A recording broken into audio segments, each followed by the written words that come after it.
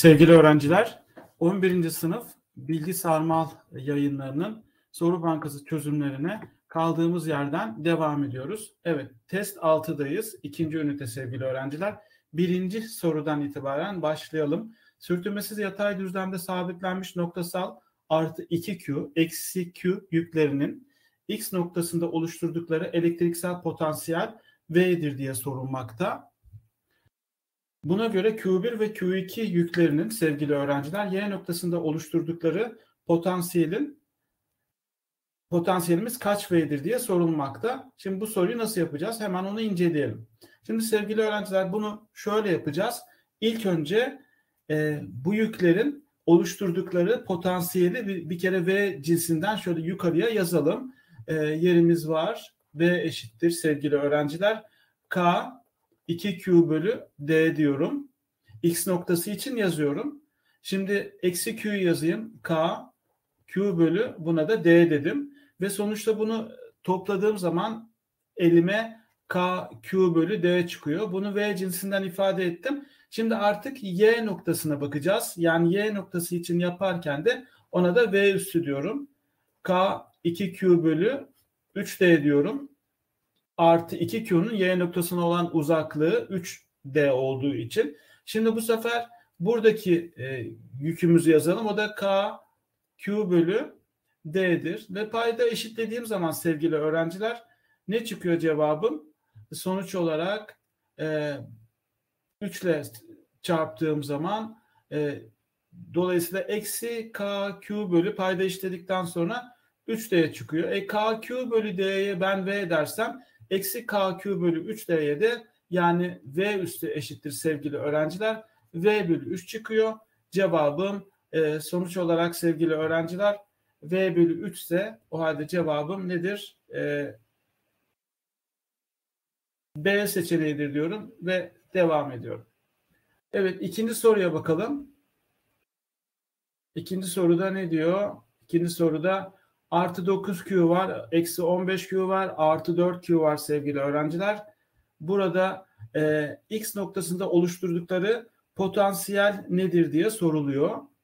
X noktasında oluşturdukları potansiyeli hesap ederken sevgili öğrenciler e, Pisagor'dan ne olduğunu biliyoruz. Burası 6D ise sonuçta X noktasındaki uzaklık o halde şöyle köşegen uzaklığı bir kere Buna 10D diyebilirim. Hesabımı yaparken çünkü bana lazım olacak. E, o halde hepsini tek tek yazalım. E, hangisinden başlayalım ilk başta? 9'dan başlayalım. K 9Q bölü uzaklığımız nedir sevgili öğrenciler? 6D'dir. Bu bir kenarda dursun. Şimdi hangisini yazalım? 4Q için yazalım. 4Q'nun x noktasına olan uzaklığı K 4Q bölü ne diyorum? 8 de ediyorum. Şimdi ne yapacağım? Diğerini yazacağım. Yani en üsttekini yazacağım. Onu yazarken de eksi k 15q bölü ne diyorum? Buna da 10 d diyorum sevgili öğrenciler. Bunların hepsini toplamam gerekiyor. E, 6, 8, 10 sa sadeleştirerek gidebilirim. 9 da 6, 3 ile 2 olarak sadeleşiyor. Bu da 3 ile 2 olarak sadeleşiyor sevgili öğrenciler. E, sonuçta e, ilk baştaki artı 3 bölü 2 e, sondaki de eksi 3 bölü 2'dir sevgili öğrenciler. Dolayısıyla bunlar birbirlerini götürüyor. E, dikkat edin 4KQ bölü 8D'den KQ bölü 2D cevabına beni götürüyor. Yani o halde cevabım sevgili öğrenciler KQ bölü 2D diyelim. E, cevabım o zaman B seçeneğidir. Ayrı ayrı köşelere olan uzaklıklarını hesap ederek ona göre hesabımızı yapıyoruz sevgili öğrenciler. Peki üçüncü soru çok güzel bir soru. Çok kısa bir çözümü var. E, karışık gibi gözükse bile e, O noktasındaki potansiyellerini soruyor. Potansiyelleri bulurken skaler olarak düşüneceğiz. Vektörel olarak düşünmüyoruz. Skaler olursa her birinin uzaklığı O noktasına R, R, R, R ise o halde toplamlarında sıfır verebilmesi için bakın dikkat edin e, bu ikisinin toplamı karşılıklı olarak 8'i verdiyse o zaman eksi 3 Q ile neyi toplarsam e, eksi 8'i verecek. O halde Q4 yerine eksi 5 yazarsam sevgili öğrenciler Yani o halde e, potansiyel sıfır olacak. Cevabım A seçeneği diyorum. Dörde geçiyorum. Evet burada sevgili öğrenciler A, A noktasındaki oluşturdukları potansiyelin değeri K, Q ve D cinsinden nedir diye soruluyor. Hemen e, bunu da yapalım. Soru 4'te hangi noktayı soruyorlar? E, A noktasını oluyor, soruluyor ve sonuçta eksi 10'un buraya olan mesafesinin 5D olduğunu biliyoruz Pisagor'dan ve e, hesabımızı ona göre yapıyoruz. Eksi 10 KQ bölü 5D diyorum. 16'yı yazarken de 16 KQ bölü 4D diyorum. E, sadeleştirme işlemlerini yaparken sevgili öğrenciler bunu ne yaptım? 2 yaptım. Bunu da ne yaptım? Bunu da 4 yaptım. Yani eksi 2 KQ bölü D 4 KQ bölü D'den sonuç olarak bunun ikisinin toplamı sevgili öğrenciler 2 KQ bölü D cevabına beni götürüyor. Yani yanıtım D seçeneğidir sevgili öğrenciler. Beşinci soruya kadar geldik. Beşinci soruda KM uzaklığı 4D, LM uzaklığı 3D olduğuna göre M noktasında oluşturdukları toplam elektriksel potansiyelin değeri sorulmakta sevgili öğrenciler. Hemen bunu da ne yapacağım? K 8Q bölü 4D diyorum. Ötekisini de sevgili öğrenciler ona da yanına yazayım. Eksi 12 Q bölü K 12 Q bölü 3D diyorum. Ve burada gerekli sadeleştirmeleri yapınca 2 çıktı. Burası da da gerekli sadeleştirmeleri yapınca 4 çıktı. O halde bunun da e, doğru cevabı sevgili öğrenciler ne çıkıyor cevabımda? Eksi 2KQ bölü D çıkıyor. Bunun cevabı da B seçeneğidir sevgili öğrenciler. Evet altıncı soruya kadar geldik. Altıncı soruda şekilde gösterilen sırasıyla birazcık e, büyütelim ekranımıza. Şöyle güzel güzel gözüksün, net olarak belirgin olsun. Şekilde gösterilen R ve 2R yarıçaplı QA, Q ve QB yüklü AB iletken kürelerin yükleri arasındaki ilişki QA büyüktür QB olduğuna göre küreler birbirine dokundurulup ayrıldıktan sonraki elektriksel potansiyelleri hakkında ne söylenebilir? Küreler birbirine dokundurulup ayrıldıktan sonra kesinlikle ve kesinlikle elektriksel potansiyelleri birbirleriyle aynı olacaklardır. Yarı çaplar oranında paylaşacaklardır sevgili öğrenciler. O halde cevabım E seçeneğidir sevgili öğrenciler. Dokundurulan cisimlerin son e, durumda potansiyelleri eşit olacaktır. Evet yedinci soruya gelelim hemen. Başlangıçtaki potansiyeli V olan e, N iletken küresi M küresine dokunduruluyor sevgili öğrenciler. Dokundurulup ayrılıyor. M, N küresinin son potansiyeli eksi 3V olduğuna göre yargılarından hangileri doğrudur diyor. Başlangıçtakini bir kere V olarak şöyle güzelce bir yazalım. V eşittir sevgili öğrenciler. KQ bölü R neyi göstermektedir? Bir kürenin potansiyelini göstermektedir. Bunu ne için şöyle güzel güzel yazalım. Sonra son durumda neymiş cevabında? Yani bu ilk tabii ki. Son durumda eksi 3 v eşittir K Q üstü bölü R'dir sevgili öğrenciler. Demek ki son durumda yükümüzün değeri bunun e, değerinin eksi 3 Q olduğunu biliyoruz. Çünkü K Q bölü R V ise K Q üstü bölü R eksi 3 V ise Q'si demek ki eksi 3 Q olacaktır. O halde son durumda şöyle yazalım. Eksi 3 Q ilk durumda sevgili öğrenciler Q olarak yazdım. Peki o halde e, son durumda bu eksi 3 Q ise yarı çapları oranında paylaştıklarına göre o halde bunun son durumda e, yük miktarı sevgili öğrenciler eksi 12 Q'dur. Bunu rahatlıkla söyleyebiliriz.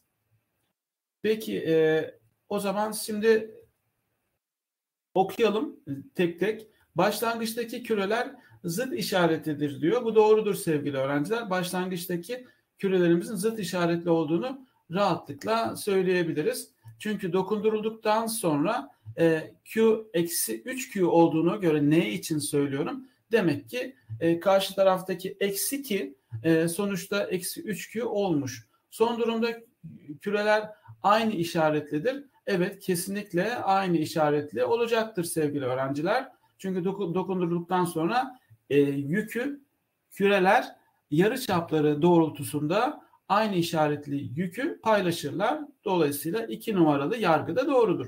Son durumda M küresinin potansiyeli eksi 12V'dir diyor. Eksi 12V olacaktır sevgili öğrenciler. E, olamaz çünkü son durumda eksi 3 ve eksi 12 olabilmesi için sevgili öğrenciler ne olması lazım? Yarı çapının da R olması lazım. Ama yarı çapımız bakın 4R. K, Q bölü R dikkat edin V idi. E, bunun e, eksi 12V olabilmesi için yarı çapında R olması gerekmekte. Ama yarı çapımız bakın dikkat edin 4R. Dolayısıyla eksi 12V değildir. Eksi 3V'dir sevgili öğrenciler. Yani bu yanlıştır. O halde yanıtımız 1 ve 2 doğrudur. Yani yanıtımız C seçeneğidir diyorum. 8. soruya geldik. Bu soruda yatay düzlemde ve aynı doğrultuda bulunan noktasal Q1 Q2 yüklerinin K noktasını oluşturdukları toplam potansiyel sıfırdır diye e, veriliyor. E, Q1 eşittir Q olduğuna göre L noktasında oluşturulan toplam elektriksel potansiyel K, Q ve D cinsinden nedir diye soruluyor sevgili öğrenciler. E, o halde biz L noktasına olan e, uzaklıkları şöyle bir teker teker yazalım. Şunu da aş- aşağıda çözelim isterseniz. Hemen ne yazıyorum? K Q bölü 4D yazıyorum. E, ve yani Q1'in L noktasına olan mesafesi 4D'dir. Hemen şimdi e, neyi yazalım? E, eksi diğerini yazalım sevgili öğrenciler. Q1'de Q olarak verilmişti. E, ötekisini de eksi 2Q olarak e, yazalım. Sevgili öğrenciler soru 8'de. K 2Q bölü D diyorum. O halde bu da ne olacaktır? Sevgili öğrenciler aynı doğrultuda bulunuyor. Potansiyel sıfırdır diyor. Sonuç olarak e, Q2'nin de ne olması gerekmekte sevgili öğrenciler? Eksi 2Q olması lazım ama bize ne diyor? E, KQ bölü D cinsinden sorduğunda ve işaretleri e, 4'e ve 1 olarak e, hesap ediyorum. Cevabım eksi 7KQ bölü 4D'ye beni götürmekte. Yani cevabım A seçeneğidir diyor. K noktasında oluşturdukları potansiyel sıfırsa sevgili öğrenciler nasıl bulduk? E, o zaman ben buraya ne koymam lazım onu size belirtmedim. Tabii ki eksi 2Q koymam lazım. Eksi 2Q. Eksi 2Q bölü 2D'den sonuçta o zaman K noktasında ne çıkacak? Dolayısıyla 0 çıkacak. O yüzden eksi 2Q değerini e, kullandık. Sonra L noktasına uzaklıklarını tek tek yazdığımızda eksi 7K Q bölü 4D çıktı. Hemen 9'a geçebiliriz. Evet. E, burada ne yapıyor? E, QX ve QY bulunmakta sevgili öğrenciler. Yükler arasındaki yük geçişi olmadığına göre e, yargılarından hangileri doğrudur diyor. Kürelerin yükleri eşit büyüklüktedir diyor sevgili öğrenciler. Kürelerin yükleri eşit büyüklükte olamaz. Eğer e, bunun yükü Q ise sevgili öğrenciler bunun Q yükü de 3Q olmak durumunda. Çünkü yarı çaplar oranında potansiyellerinin eşit olmasını beklemekteyiz. Çünkü bir küre için e, potansiyel KQ bölü R olarak hesap edilir. E, dolayısıyla sevgili öğrenciler e, bunun da 3Q olması lazım. Eşit büyüklükte değildir. Kesinlikle yanlıştır. Kürelerin elektriksel potansiyelleri eşit midir? Yük geçişi yoksa kesinlikle ve kesinlikle eşittir. E, kürelerin yükleri zıt işaretli midir? Kürelerin yükleri zıt işaretli değildir. Çünkü potansiyelleri eşittir. Dolayısıyla yüklerinde aynı işaretli olması beklenmektedir. O halde bu da yanlıştır. O halde doğruyu arıyoruz sadece. Cevabımız B seçeneği ve son soruya geldik. Bu soruyu çok beğendim sevgili öğrenciler. Şöyle birazcık e, küçülttük. Şöyle yapacağım. Şimdi e, sorumuzu çok güzel güzel okuyalım. Çünkü çok öğretici bir soru. Yalıtkan iplerle tavana bağlanmış R ve 2R yarıçaplı K ve L kürelerinin yükleri sırasıyla QK eşittir 3Q. E, QL eşittir 3Q üstüdür. Q'dur. Bu durumda iplerin tavana bağlantı noktası O noktasında oluşan toplam elektriksel potansiyel VO ve kürelerin merkezini birleştiren doğrunun tam ortasında P'de oluşturan toplam elektriksel potansiyel VP'dir. Buna göre küreler birbirine dokundurulup serbest bırakıldığında VO ve VP nasıl değişir? Bir kere rahatlıkla hemen söyleyebiliriz ki sevgili öğrenciler VO değişmeyecektir. Neden? Çünkü e, VO'ya O noktasına olan uzaklıkların e, mesafeler eşittir. E, dolayısıyla skaler olduğu için rahatlıkla değişmeyeceğini söyleyebiliriz. Peki sevgili öğrenciler bunlar birbirlerine dokundurulduklarını 3Q'ya 3Q'du. Sonuçta 6Q var. 6Q'yu dokunduktan sonra 2Q'ya 4Q olarak paylaşacaklar ve aralarındaki Coulomb kuvvetinden dolayı mesafe ne olacak? Birbirlerine etki, e, etki, etki ettikleri kuvvetler e, K 9Q kare bölü e, D iken yani mesafe ne olacak?